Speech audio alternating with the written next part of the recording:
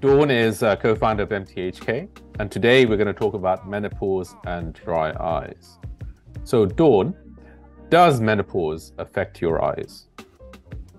I think uh, it's a, a, very short answer. Uh, if I'm just going to be straightforward, and it, it's a big yes. You know, menopause is a, a thing that happens to all of us uh, in life. Well, half of us, you know, the women, and menopause is a stage where there is large changes in the hormones in the body that have been used to those hormones for about 20, 30 years, and in that change what it does is it affects all the different components that keep the eye comfortable and healthy. So the things that lubricate the eye, keeps it nice and wide, allows you to see clearly through those windows.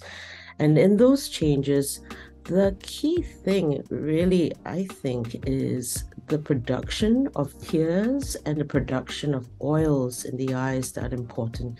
So I like to liken menopause to puberty, you know, as a, as a time of change, slightly different in rates and in the balances of the hormones. But when you have those big shifts, um, it not only affects your mood, your you know hot flushes that we are all very aware of, and, and the, the mental health impacts of that.